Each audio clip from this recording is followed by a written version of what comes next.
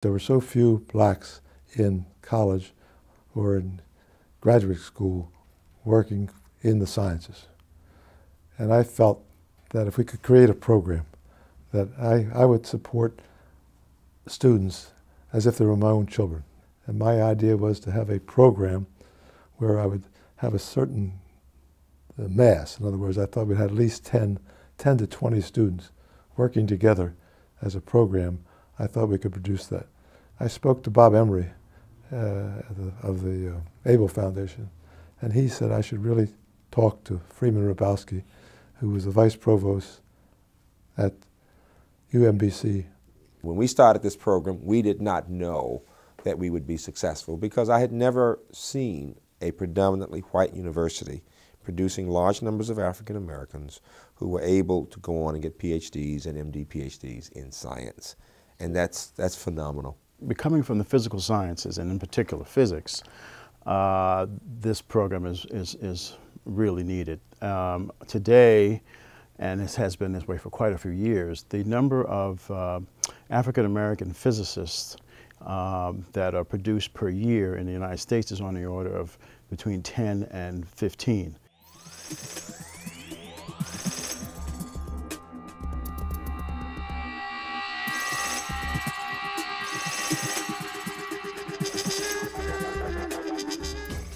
We have diseases and issues and questions and problems that affect you know, every different type of person. It doesn't matter what your ethnic or racial background is.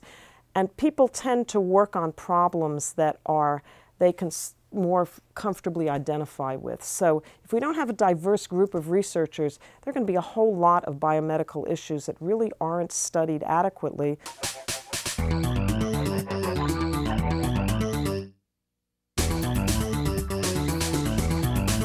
I felt that if I accepted the scholarship and did well, then I could be a positive role, role model for them.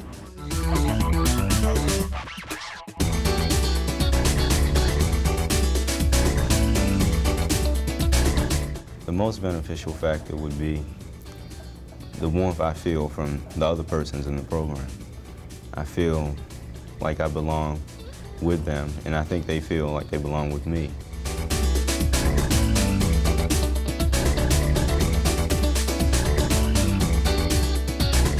It's not like there's just one student in a crowd um, of 2,000 or 3,000 that is an intelligent and young African American student, but instead there are over a hundred students just like you.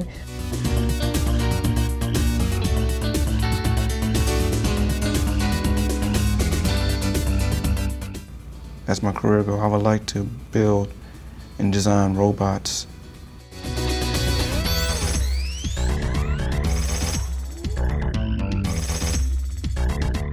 My major is biochemistry at this point. And when I graduate, I definitely want to go to med school. But there's a possibility that I could do an MD, PhD.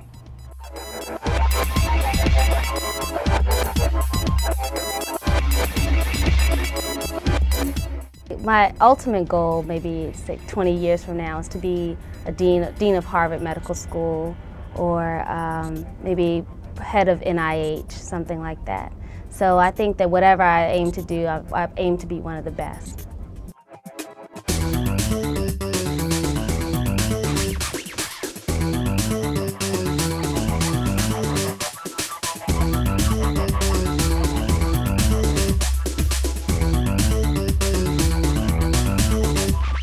In recent years, our research has examined African American Meyerhoff students who entered the program and comparing them to students who were accepted into the program but declined the offer and went elsewhere. The African American Meyerhoffs were almost six times more likely to enter PhD programs in science and engineering than the comparison students but we have a pipeline of students. We're talking about hundreds of students who've gone on to get PhDs, MD PhDs, and MD degrees, with hundreds of students in the program right now. So there's a pipeline. And universities and colleges come from around the country to look at what we're doing and how we're doing it. We've become the model. Well, first and foremost, these scholars are going to make scientific contributions, and they will. Second, I want them to be also role models and, and mentors to others and examples, uh, trailblazers, if you will, for American science in the 21st century. It provides a model for other institutions about how they also can uh, embrace a very diverse student body and get them excited about careers in science. And the lessons we've learned that have helped blacks are also helping whites. We now have students of all types in the program, of all races, and it's great because it's teaching us that we as Americans can work together in science. I, I, think many um, be, before the Meyerhoff um, uh, question whether you could really build this kind of community, and it's it's a tribute to the to the leadership, to the ideals, um, and, and, to the principles, the, the, the way that they put the program together, um, that uh, has set such a strong example for for the country.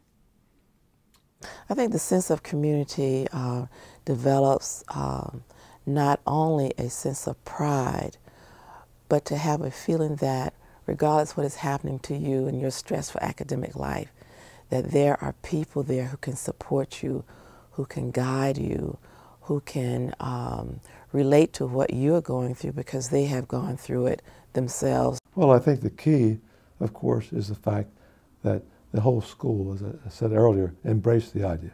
The faculty, who also embraced the idea, and also the staff, who was excellent staff, and, and the, everybody was behind it, everybody backed it. I was so proud to be part of the Meyerhoff Scholars. Maybe it's a small part of the success of the Meyerhoff Scholars. It just, it just, it's unbelievable. It happened. we had hoped it might happen, but it has happened.